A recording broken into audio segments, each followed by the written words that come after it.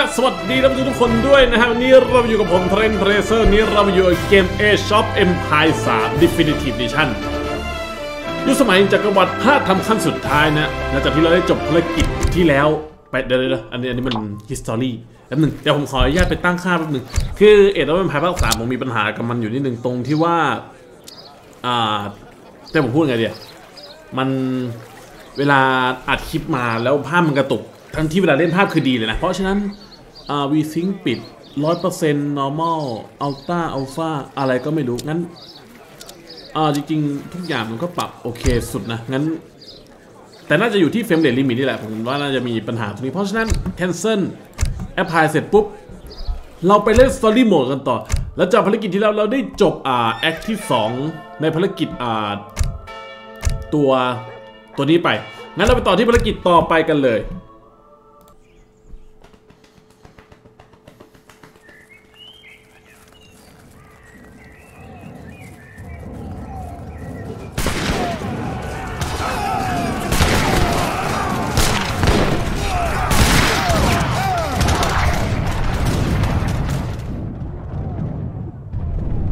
คนของข้าไม่สามารถยันพวกอังกฤษได้นานกว่านี้แน่รอก่อน พวกเรากำลังไป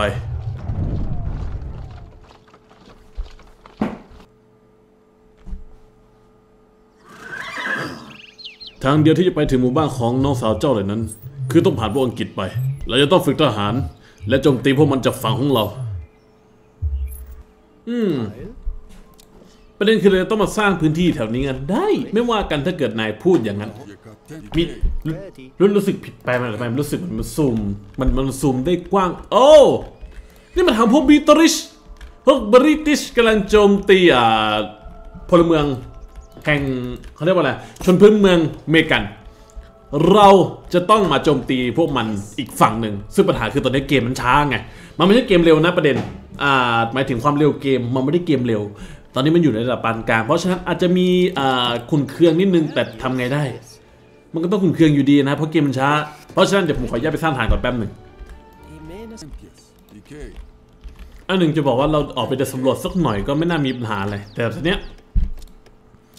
ฐานผมมันยังไม่ได้ขยายขนาดนั้น เดี๋ยวยุค 3 ก็ยังไปไม่ได้ และไม่รู้ว่าพวกบริติชมันจะมาโจมตีผมหรือเปล่าเพราะฉะนั้นเก็บสมบัติไปเรื่อยน่าจะโอเคสรุป Jaeger นี่ยิงดีจริงๆ แต่แต่ Jaeger ไม่ใช่ unit ที่ผมจะเจอบ่อย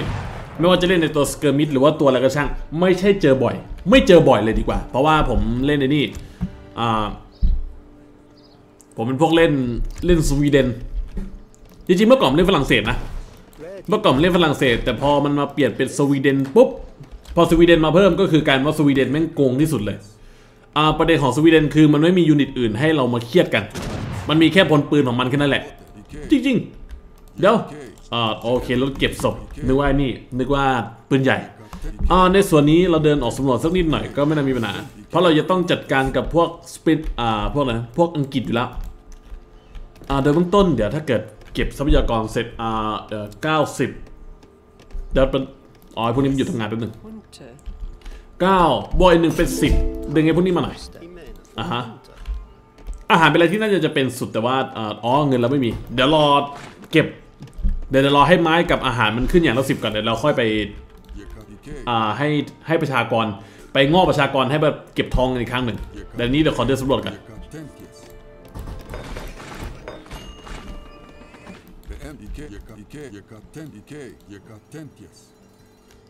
เอานี่มันเนทีฟงั้นลงเลยพอลงเสร็จปุ๊บเดี๋ยวเราเข้าบ้านทีอ่ามีสเดี๋ยวมีสมบัติอยู่ตรงนี้เดี๋ยวเข้าบ้านกันอีกที อ่าพวกนี้น่าจะมาสำรวจเฉยๆน่าจะยังไม่มาบุก เพราะฉะนั้นเดี๋ยวงอกกันบ้านไว้หน่อยก็ดีเอาแต่ส่วนนี้เราอ๋อไม่หรอก เพราะว่าผมไม่อยากจะเอาผลิตทหารตอนนี้ไงผมกะว่าจะเอาไอ้นี้ไปก่อน เอาเอาพวกอัปเกรดไปก่อน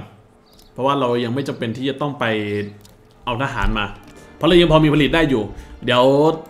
รออัพไอ้พวกนี้เสร็จอะเดี๋ยวค่อยว่าอีกทีหนึ่งเพราะผมอยากจะอัพไอ้พวกที่เกี่ยวกับอ่าเศรษฐกิจผมให้มันดีที่สุดก่อน อ๋อเก้านับตรงนี้เดี๋ยวมันว่างตรงไหนคนนึงอ๋อตรงนี้โอเคนี่ไงว่าแล้วเชียวแป๊บหนึงกลับเข้าบ้านอันนี้ แม่พอไม่มีใครกันบ้านไอ้พวกนี้มันคือมันมาบุกดีจริงๆอ่าฮะประเด็นคือไอ้พวกนี้เป็น musketeer ด้วย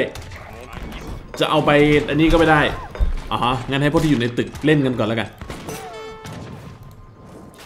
คือหนึ่งอันหนึ่งด้วยว่าประเด็นอะมันเป็น musketeer ผมไม่อยากจะเอาม้าไปตีกับพวกนี้ไงเพราะถ้าเอาม้าตีนี่รู้เรื่องแน่นอนร้อยเปอร์เซ็นต์ อ่าฮะผมว่าพวกนี้คงจะกันอยู่ เดี๋ยวเราสร้างสร้างอย่าง เดี๋ยวพวกนายสร้างหรือยัง เราเราสั่งให้นายสร้างเนี่ยสร้างไหมโอเคงั้นเดี๋ยวมันชื่ออะไรวะลืมโอเคงั้นจอห์นรบกวนคุณจอห์นสร้างบ้านก่อนเดี๋ยวพวกนี้กลับไปกันบ้าน แต่คงไม่แต่แต่น่าจะไร้ประโยชน์เพราะว่าน่าจะไปไม่ทันอ่าฮะไม่เป็นไรถือว่าคุยกันได้ ยังไงเกมนี้ก็เล่นเกมชายแล้ว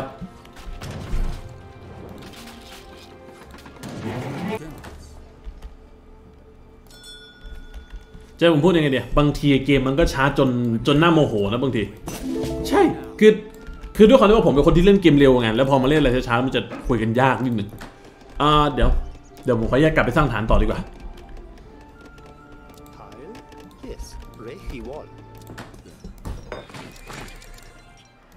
อันหนึงตอนนี้ผมมีประเด็นอยู่คือจะให้ผมพูดยังไงเดียอืมฮึ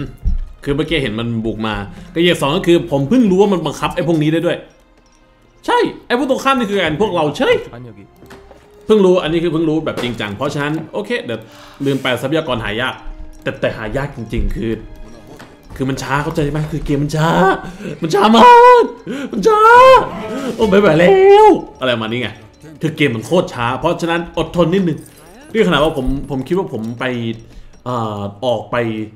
เรียกว่าอะไรไปสร้างฐานถือว่านานอยู่นะ เมื่อกี้ออกไปถือว่านานอยู่นะ แต่การว่า เอ้ยยังไม่คืบเลยเลยให้ตายเถอะเดี๋ยวแล้วก็เดี๋ยวต้องรออัพอัพอัพนี้อีกอัพยุคแล้วก็อัปเกรดแล้วก็เพื่อที่จะเอาไอ้นี่ เอาตัว e s t a t e ใช่ผมจะเอา e s t a t e เพราะผมขี้เกียจให้พวกนี้ไปขุดทองไงอ่าฮะ เอาเสร็จปุ๊บเปิดมิวแล้วก็ตรงนี้เดี๋ยวอย่าบอกถ้ามีทหารอยู่ตรงนี้ถ้ามีนี่เราชิบหายเลยนะ ไม่เอานะพวกนายจะมาบุกตรงข้างเราไม่ได้ ตรงนี้ประชาชนมันอยู่เยอะ ให้ตายเถอะขี้เกียจซื้ออ่าฮะทีเนี้ยประเด็นคือไม้ประเด็นคือไม้นี่สุดตีนมาก ช้า โหลดช้าเหลือเกินอ๋อแต่เดี๋ยวรอรออัพเพราะว่าคือคือเงินกับอาหารไปดีไงเพราะไม่งั้นผมอาจจะต้องขาย ใช้เงินซื้อแต่ใช้เงินซื้อก็ประเด็นอีก เอาเนื้อไปเลยเป็นไม้ก็ไม่ได้ ให้ตายเถอะอือฮึทีเนี้ยมันเป็นอะไรมันมันมีให้ซื้อแต่ไม้ มันมันมีให้ซื้อให้เงินอะใช้แต่ไม้กับนี่มันไม่มีทรัพยากรแรกทรัพยากรไงมันมีแต่เงินซื้ออย่างเดียวนั่นคือประเด็น เดี๋ยวค่อยว่ากันอีกทีไหนเงินถึงพันแล้วเราก็อ่าอัพเลยแล้วกัน เอาเป็นอ่าเอาพวกที่มีประโยชน์ เอาเป็นโทมาฮอกแล้วกันอะฮะเพราะว่าเราจะได้ตัวสเกลเราจะไปเปิดพื้นที่ด้วย พอเสร็จปุ๊บ เดี๋ยวเตรียมตัวไอ้พวกขุดทองเนี่ย ไปไปทำ estate แล้วเราก็จะได้ไม่ต้องมากังวลอะไรมาก ถึงว่าถึงไอ้พวกนี้มันจะรายได้น้อยขึ้นน้อยขึ้นช้าก็ตาม แต่ผมยอมที่จะเอา เพราะว่ามัน infinity และไม่ต้องมามัวแบบบังคับว่าเฮ้ยมึงไปล่าตรงนู้นล่าตรงนี้ไงนี่คือประเด็นว่าทำไมผมถึงชอบอ่าเอาพวกไอพวก shipment ที่มันอัปเกรดพวกอ่าพวก mill พวก estate พวกนี้มาใช้เพราะว่า มัน infinity ไงผมไม่ต้องที่จะต้องย้ายไปให้พวกมันไปทำงานที่อื่น โดยที่จะต้องมาคุมมันตลอด เพราะฉะนั้นค่อยว่าอีกทีอ่าเดี๋ยวยุคสี่เลยงั้นเหรอเดี๋ยวตอนนี้เราเพิ่งขึ้นยุคสามเพราะตอนเนี้ยน่าจะเอามอท่าสักหน่อย พอเอามอท่าเสร็จปุ๊บก็เอาไปบุกได้เลย แต่น่าจะเล่นเกมนานอยู่พอสมควรถ้าเกิดเราพูดกันตามตรงทีนี้อ่าเดี๋ยวมันมี secondary objective ก็คือเราจะต้องไปหาตัวอ่าประชากร อ่าพวก native พวกนี้ พอเราเอาเสร็จปุ๊บแล้วก็ น่าจะจบ secondary objective ได้ อ่า เราชนพื้นเมือง สร้างกันสักหน่อยแล้วกัน อือฮึ Commandment Forster. อีกเค Yes. อันหนึ่งถ้าเกิดจะถามประเด็นว่าผมบุกได้เลยไหมผมบุกได้เลยนะ แต่ว่าอ่า เรามีสิ่งที่ไม่มั่นคงคือตอนนี้อ่าไอตัวสร้างบ้านหลักๆ ผมไม่งหายไปไหนวะ Yes. Mountain. ใช่เดี๋ยวแป๊บนึงแล้วก็ทำไมมันกระจัดกระจายกันบัดซบขนาดนี้ Forster. ทำงานกันไม่เป็นหลักเป็นแหล่งเลยให้ตายเถอะ I'm ready. I'll อ่าฮะ I'll attack. แป๊บนึงแล้วก็นี้เดี๋ยวผมขออนุญาตจัดกำลังพลแป๊บนึง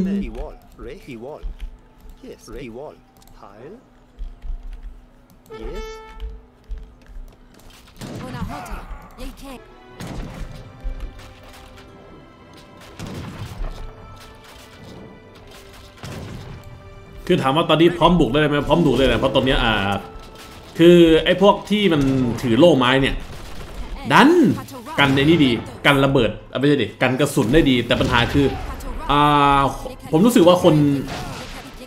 อ่าตัวใจผมพูดคือคือผมนึกคำจะพูดได้แต่ผมพูดไม่ออกไงคือคือนึกคำไม่ทันไงอ๋อชนพื้นเมืองใช่ ชนพื้นเมืองเนี่ย แพ้อย่างหนึ่งแพ้แคนาเดีย ไม่รู้ทำไม แพ้แคนาเดียโคตรๆเลยคือ คือจากตอนแรกที่ตัวโทมาฮอกเยอะๆนะ คือหายไปเพราะแคนาเดียทั้งนั้นเลย ไม่รู้ว่าเพราะอะไรอะแต่ไม่เป็นไรก็ถือว่าคุยกันได้อยู่ ห้องนี้เสร็จปุ๊บถ้าเกิดตรงนี้เสร็จแล้วก็ไปกันต่ออะฮะเราจะโจมตีเข้าตรงนู้น เดี๋ยวส่วนฟอนเตรียมตัวสร้างอัดหน้ากันเลย เราเตรียมตัวสร้างอัดหน้ากันปืนใหญ่ก็คอยดันไป ส่วนตรงนี้เราจะสร้างอัดตรงนี้กันเลย ใช่ ส่วนพวกนี้ก็มา the Iroquois can mount an attack from the other side. อ่าฮะ British weapon will pay at the hands of those Iroquois warriors. อือฮึในก็ไหนตรงนี้น่าจะเคลียร์เสร็จอ่าแล้วเราก็ไปกันเลยแต่สุอ่าคือดูจากทรงไม่น่ามีปัญหาแล้ว คือเราไม่เราอาจจะไม่จำเป็นที่จะต้องอัพถึงยุค4ก็ได้เพราะตอนนี้ก็คือเราก็น่าจะบุกกันได้เต็มที่ ผมอาจจะคิดอ่าคิดมากไปหน่อยกับการรอมอท่านะ ใช่ คือนี่ผมกะว่าจะรอมอท่าเสร็จเลยนะ รอรอจนกว่าจะโหลดมอท่าได้แล้วผมก็ค่อยไป แล้วเราค่อยโจมตี ซึ่งมันมันก็จะได้ผลดีแหละ แต่ว่ามันจะช้าไง เพราะฉะนั้นแบบนี้ก็ถือว่าโอเค อือฮึจัดการพวกบริติชให้หมด แล้วเราก็จะไม่มีปัญหาอะไรเกิดขึ้น เอาฟอนต์สร้างไว้หน้าบ้านเนี่ยนี่ก็ถือว่าโอเค จริงๆถ้าเกิดสร้างเสร็จก่อนแล้วก็ให้มันเล่นกันเลยตุ้มบอกเลยปืนใหญ่ปืนใหญ่นัดนี้ เพื่อชนพื้นเมืองที่ถูกพวกเองฆ่าไป อือฮึ ใช่แล้วเราก็ค่ายพวกนี้กลับแฟร์ดีจริงๆ แฟร์โคตรๆเลย แล้ววันนี้เสร็จปุ๊บอ่าฮะปืนใหญ่ตั้งต้น แล้วเราก็ยิงกันเลย คือหนึ่งคือหนึ่งฝั่งพวกอังกฤษไม่น่าจะอ่าผลิตทหารมาโจมตีเราได้แล้ว เพราะว่าฐานผลิตมันหายหมดแล้ว มีแค่ฐานด้านนอกนี่น่าจะต้องกลับไปเคลียร์กันนิดนึง แต่ไม่เป็นไร เดี๋ยวลืมไปว่ายุคสี่มันต้องตังสองพันแต่ผมหาไม่ได้เร็วขนาดนั้นหรอกเพราะฉะนั้นเอาแค่นี้ไปก่อนแล้วกันอ่าฮะใช่ เดี๋ยว ฮุลันไหนๆก็มาแล้วมาตรงนี้กันเลย อือฮึอ้อมเหลือฐานอ้อมเหลือตรงนี้อีกหนึ่งฐานโอเค เดี๋ยวบอกว่าน้องสาวน้องสาวของพี่อันนี้เราคงจะไม่อันนี้ตายหรอกมั้งโอเค น้องสาวของพี่คาเนียนน่าจะยังไม่โดนฆ่าตายอ่าฮะ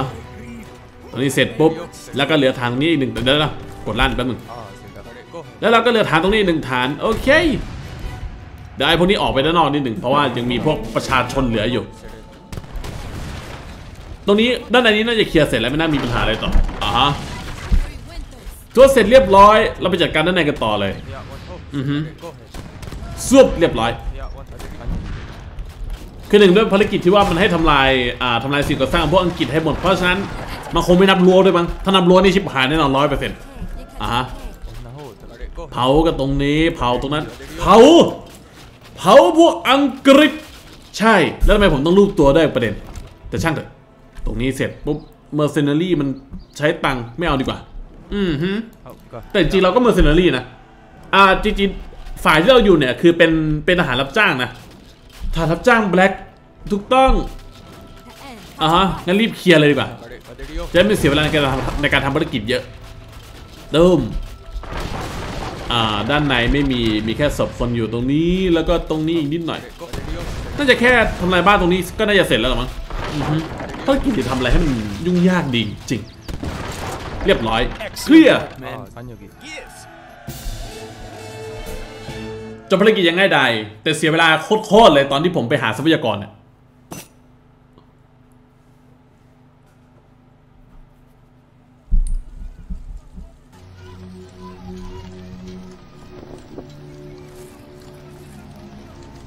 พี่ชายของข้าอะไรพาเจ้าไปนานนะ เรามาช้าผู้นำคนใหม่ของพวกอังกฤษวอร์วิกรู้จักเจ้านะจอห์นเขาส่งทหารของเขามาที่นี่ถามหาเจ้าสัญญาว่าจะให้เงินและม้าถ้าเกิดเราส่งตัวเจ้าไป ซึ่งเราไม่เอา วันต่อมา ก็การโจมตีนี่แหละวอร์วิกมันจำเป็นที่ต้องมาหาข้าหรอเพราะข้าจะไปหามันเอง